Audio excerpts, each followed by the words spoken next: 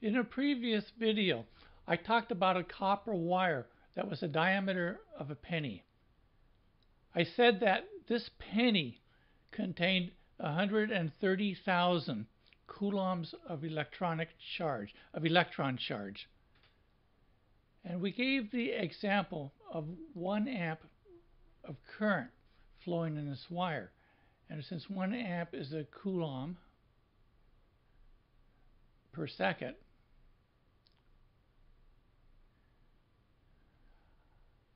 let's solve a problem. How long would it take for the charge in this penny, 130,000 coulombs of charge, to pass the surface of this penny with a 1 amp of current flow, which is a coulomb per second.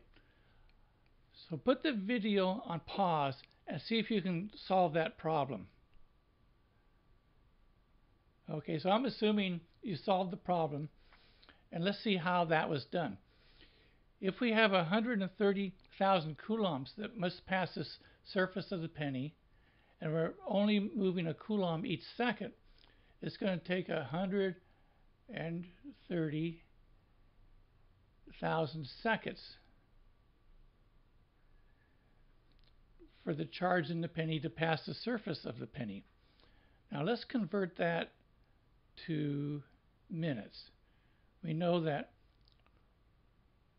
one minute is equal to 60 seconds. And so our seconds will cancel out and we'll be left with minutes. But let's convert that to hours. Times, we know one hour is equal to 60 minutes. So again, our minutes will cancel here and we'll be left with hours. And when we divide by 60 twice, we'll get 36.1 hours. So the electrons are moving very slowly in this copper.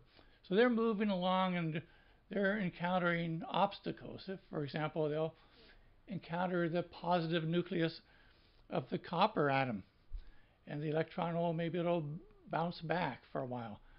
And then it'll continue on with its flow and it'll hit another nucleus or it'll hit an electron. But it's not a, a rapid flow of current. Now, why when I turn on a light bulb, I, I flip the switch, that light bulb turns on almost instantly. If the electrons are moving so slowly, why does that bulb turn on so quickly? Well, let's consider that. Let's do an an analogy. Let's say we have a cross section of a garden hose.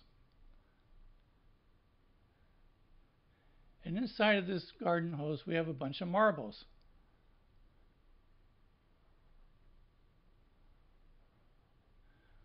Now, if I push on the marble at the left side, the marble at the right side is going to pop out almost immediately. Although the motion of the marbles within the hose are, are rather slow, this impulse, when I cause an action on the left side, I get a reaction on the right side that happens almost instantly. And it's like that in the copper wire. When I apply an electric field in the wire, these electrons all move together, but they're all moving continuously within the wire. And that makes that light bulb turn on very quickly. In fact, this impulse is traveling at almost the speed of light. It's extremely fast. Let's solve another current problem. Let's say we have a copper wire with a branch. In electronics, we call this branch a circuit node.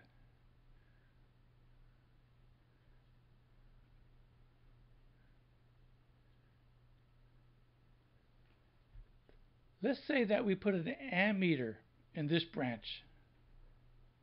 We'll call this A for ammeter. An ammeter is just a device that measures current flow.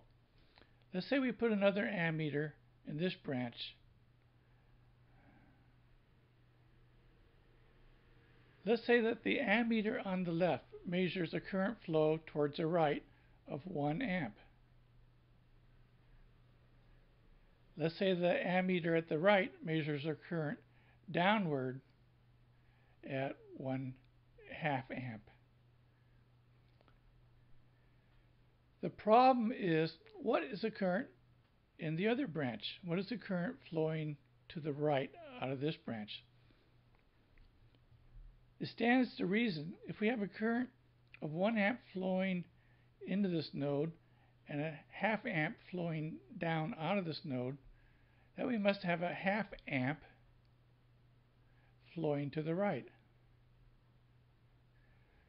We don't have to put an ammeter in the branch at the right. We know that this is true from conservation of charge. So to summarize, there's a rule about the current flowing at a node. And the current flowing into the node is equal to the current flowing out of the node. In this case, flowing to the right, we have 1 amp and flowing down a half amp and flowing in this other branch a half amp. So everything sums to zero. So what goes into the node comes out of the node from conservation of charge. And this is called Kirchhoff's current law.